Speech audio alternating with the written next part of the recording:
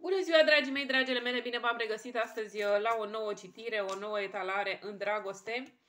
Haideți să vedem uh, de data aceasta care vor fi energiile acestei lecturi pentru voi, dragii mei. Cei care vă doriți să știți mai multe despre relația voastră de cuplu, pentru aceia care sunteți într-o într, -o, asemenea relație, sau pentru cei care sunteți în separare de partener, de partenere, simt că și voi vă doriți să știți dacă acesta sau aceasta va mai reveni în relație cu voi. Sau pentru cei care sunteți singuri, singure, simt că și voi vă doriți să știți dacă această situație va rămâne la fel în perioada următoare sau veți cunoaște și voi uh, o persoană cu totul și cu totul specială. Haideți să vedem, dragii mei, uh, cărțile uh, pentru voi astăzi. Iată că avem aici Împăratul și Luna, dragii mei, două cărți din Arcana Majoră, două cărți foarte interesante. De ce sunt interesante? Pentru că îmi vorbesc despre o persoană cu totul și cu totul uh, foarte importantă pentru tine, draga mea sau dragul meu, uh, o persoană care va apărea în viața ta într-un moment de răscruce, poate, pentru unii dintre voi, un moment în care tu ai și mai mare nevoie de dragoste decât ai avut vreodată. Dar se pare că această persoană apare în uh, acest moment sau în uh, uh, perioada imediat următoare și se va îndrăgosti iremediabil de tine, dragul meu sau draga mea. Fie că este bărbat, fie că este femeie, este o persoană care își va dovedi impactul extraordinar pe care îl poate avea asupra vieții tale și acest impact al său um, va, revoluționa, va revoluționa viața ta um, în perioada care urmează. Uh, din acest punct de vedere, dragul meu sau draga mea, iată că această persoană cu adevărat își va spune punctul de vedere când vine vorba de tine, de persoana ta, când vine vorba de această relație, pentru că această persoană este cu totul și cu totul determinată să, uh, să capteze în momentele următoare uh, care sunt de o esență rară pentru el în aceste momente. De ce? Pentru că sunt momente în care își va mărturisi dragostea pe care ți-o poartă, își va mărturisi um, pasiunea pe care o simte pentru tine. Da, și această persoană, într-adevăr, a rămas cu totul și cu totul înmărmurită încă din momentele în care te-a văzut pentru prima oară. Da? Um, încă din acele momente, această persoană a luat decizia că trebuie să facă ceva și să vină în fața ta să-ți vorbească despre aceste sentimente ale sale. Este posibil ca între voi să fie unele diferențe, să fie diferențe de clasă socială, de exemplu, sau diferențe de profesie foarte importante sau um, diferențe de vârstă foarte importante din nou, pentru că iată simt că această persoană, deși, deși vede sau, mă rog, va ști la un moment dat dacă între voi există o diferență de vârstă destul de importantă, uh, acest lucru nu îl va împiedica sau nu va împiedica să se îndrăgostească de tine în continuare. Hai să vedem și următoarele cărți. Da, uh, iată că această persoană este cu totul și cu totul foarte, foarte îndrăgostită de tine, dragul meu sau draga mea.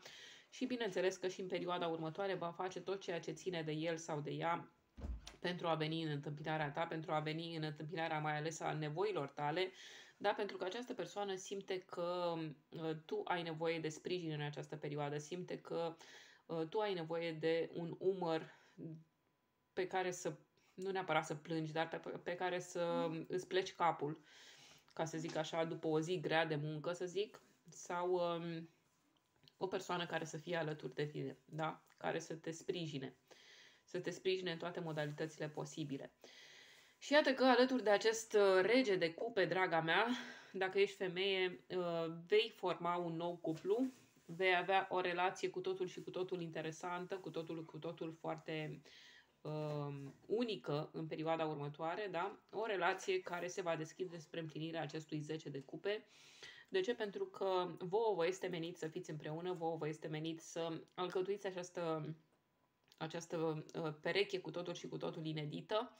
Și să fiți fericiți, dragii mei, dragele mele, pentru că nu e așa, uh, voi doi uh, ați trecut prin multe împreună și ați trecut prin multe și ați, ați trecut prin, urme, prin multe separat mai ales, da, pentru că nu, voi nu v-ați cunoscut încă, dar urmează să o faceți, dar urmează să vă cunoașteți din ce în ce mai bine și să împărtășiți unul cu celălalt experiențe de viață, experiențe prin care ați trecut până acum, um, experiențe plăcute, dar și mai puțin plăcute, care vă vor apropia pentru că vă veți da seama că din acest punct de vedere aveți chiar foarte multe de împărtășit și foarte multe în comun. Da, hai să vedem și următoarele cărți. Iată că avem aici, dragii mei, un 5 de pentacule, o carte de asemenea interesantă care îmi vorbește despre unul dintre voi, uh, doi, uh, poate, poți fi tu, dragul meu sau draga mea, cel sau cea care privește la acest video sau poate fi partenerul sau partenera ta. Uh, unul dintre voi se pare că a suferit foarte mult într-o etapă anterioară a vederii acestui video. Uh, fie v-ați despărțit de cineva drag vouă, fie Uh, aveți parte de un necaz în familie sau uh, ceva care are legătură cu o situație de, care are legătură cu sănătatea, starea de sănătate a cuiva, uh, a unei persoane foarte importante pentru voi din familia voastră.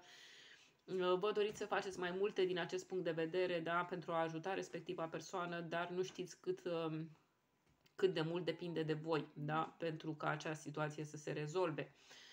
Dar sunteți tari, ați rămas tari pe poziție, vă rugați, vă rugați destul de des, da? dar um, ceea ce v-a fost furat în această perioadă este bucuria voastră de a trăi, dragii mei.